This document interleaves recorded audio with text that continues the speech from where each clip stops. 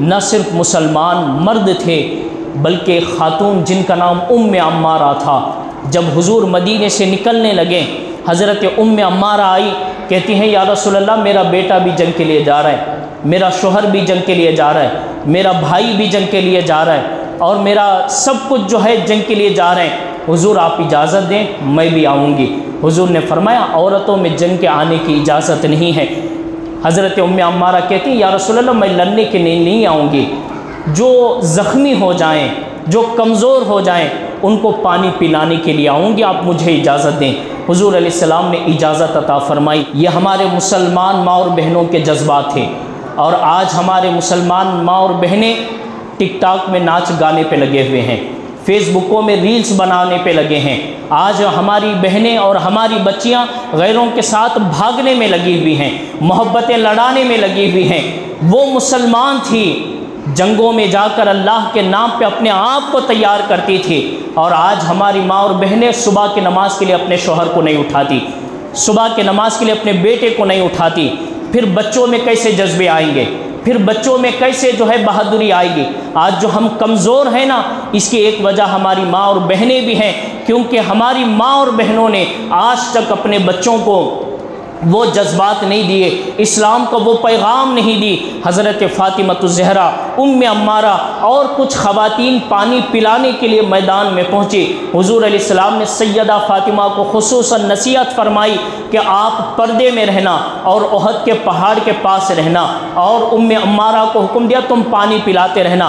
ام امارہ کہتی ہیں کہ شروع میں میں پانی پلانے لگی اور جب میں نے دیکھا کہ پیچھے سے بھی کافر ہیں، سامنے سے بھی دشمن ہیں، مسلمان بیچ میں ہیں اور حضور علیہ السلاۃ والسلام کو چھوڑ کر لوگ واپس جا رہے ہیں۔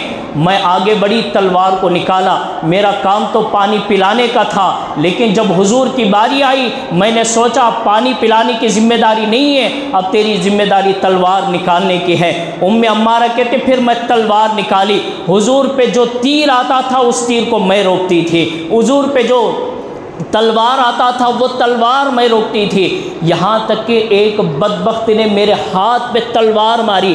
میرا ہاتھ کٹا۔ حضور نے فرمایا کہ ام امارہ بیٹھ جاؤ۔ میں نے کہا، یا رسول اللہ، نہیں بیٹھوں گی، کیونکہ میرے مصطفیٰ میرے سامنے کھڑے ہیں، تو مجھے بیٹھنے کی کیا ضرورت ہے؟ حضور سے کہتی ہیں کہ، یا رسول اللہ، میں لڑتے رہوں گی، یہاں تک کہ آپ کے نام پہ اپنی جان کو قربان کر دوں گی۔ حضرت ام امارہ کو اللہ نے آپ کی شہادت اور آپ کے اس جذبے کو دیکھا اور اللہ نے آپ کو لمبی عمر بھی عطا فرمائی اور حضور علیہ السلام کے دیدار سے بھی آپ کو مشرف فرمایا۔ آپ کے بیٹے شہید ہو گئے، شوہر شہید ہو گئے، بھائی شہید ہو گئے اور سب کچھ رشتے کٹ گئے۔ حضور علیہ السلام کے میدان کی کیفیت دیکھ کر صحابہ الگ الگ طرف کھڑے تھے۔ ام امارہ صحابہ کی ایک جماعت کے پاس آئی، کہتی ہیں، یہ بتاؤ میرے حضور کیسے ہیں؟ صحابہ نے کہا کہ، حضور تو ٹھیک ہیں، پہلے اپنے شوہر کے تعلق سے معلوم کرو، تمہارا شوہر شہید ہو گیا۔ جذبات دیکھو حضور سے محبت کی۔ وہ عورتیں تھیں، لیکن شیر دل عورتیں تھیں۔ اور آج ہم مرد ہونے کے باوجود بھی اسلام کے معاملے میں کمزور ہیں۔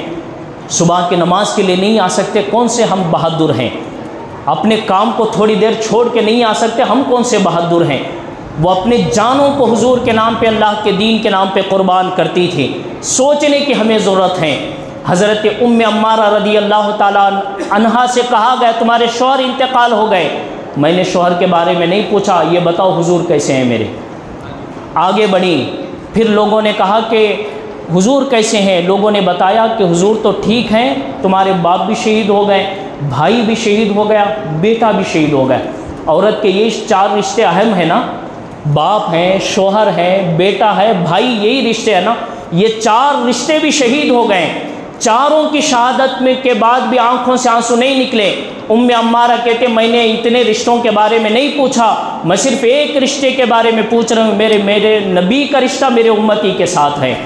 میں امتی ہوں، میں نبی کے بارے میں پوچھ رہی ہوں۔ بتاؤ میرے نبی کیسے ہیں؟ لوگوں نے بتاؤ، وہ جاؤ وہاں بیٹھے ہوئے حضور حضور کے پاس جب حضرت ام امارہ آئی آنکھوں سے آنسو نکلے، حضور نے بھی دیکھا ام امارہ کو آنکھوں سے آنسو نکلے حضور کے بھی۔ حضور نے پوچھا کہ ام امارہ پتہ چلا تمہیں؟ ام امارہ نے کہا، یا رسول اللہ ہاں پتہ چلا ہے۔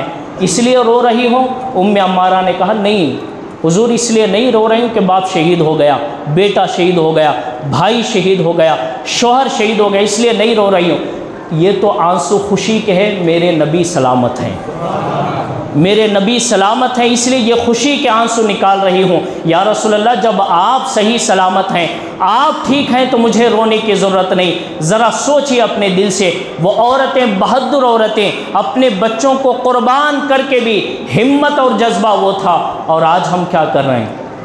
آج ہماری عبادتیں کہاں جا رہی ہیں؟ آج ہماری نمازیں کہاں جا رہی ہیں؟ آج ہماری ماں اور بہنیں کس طرف جا رہی ہیں؟